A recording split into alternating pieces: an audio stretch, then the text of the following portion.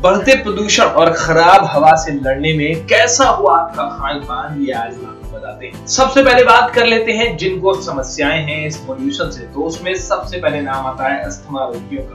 तो आपको बता दें कि अस्थमा रोगी को क्या खाना है तो उसके लिए लहसुन, प्याज, अदरक का सेवन करना बहुत ज़रूरी है।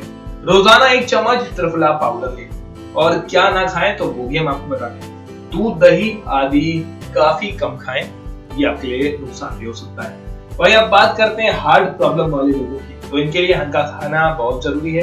हल्का खाने में आप ओट्स काला चना, चने के सत्तू ले सकते हैं। वही क्या नहीं खाना है, ये आपको बताते हैं। फ्राइड हैवी खाना ना लें नॉन वेज कम खाएँ, रात को कम खाएँ।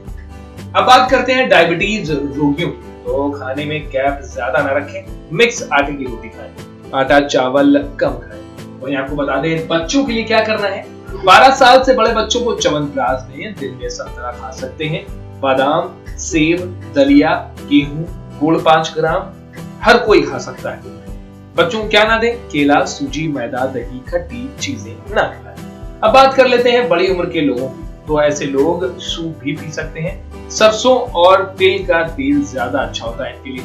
वहीं कर्ब्स यानी कि अनाज, आटा, चावल, सूजी आदि कम खाएँ। सेहतमंद लोग आम दिनों की तरह ही खाना खा सकते हैं, जैसे साफ़ सब्ज़ी इसमें शामिल है।